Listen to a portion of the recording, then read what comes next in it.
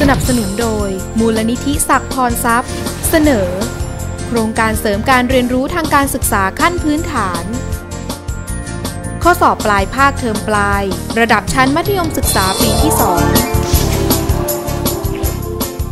ข้อ 11 นะครับ ก็เป็นโจทย์ในเรื่องของเส้นขนาน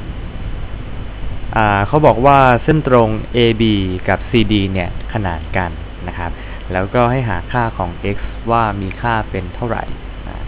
ทีนี้ดูรูปนี้ก่อนนะครับ CD เนี่ยเป็นเส้นตรง มุมตรงนะครับ เพราะฉะนั้นมันต้องมีขนาด 180 องศาอ่าแสดงว่ามุมตรงนี้ทั้งหมดเนี่ยคือ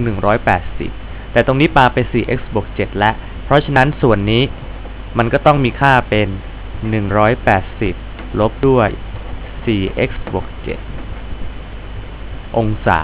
นะครับ อ่า ทีนี้ในเส้นขนานเนี่ย มันมีทฤษฎีหนึ่งบอกว่า มุมภายใน จะเท่ากับมุมภายนอก บนข้างเดียวกันของเส้นตัดของเส้นขนาน นั่นแปลว่าอะไร เราก็จะได้ว่า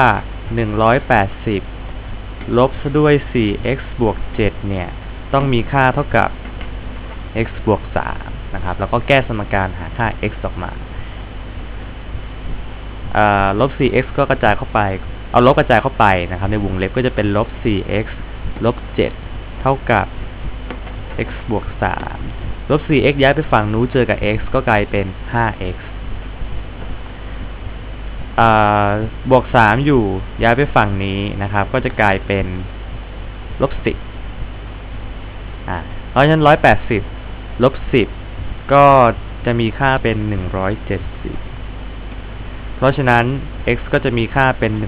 170 แล้วหารด้วย5นะครับเอาแม่ 5 ตัด 5 1 5 5 2 10 5 3 15หรือเศษ2 5 4 20 ก็มีค่าเป็น 34 องศา เพราะฉะนั้นก็ตอบตัวเลือกที่ 2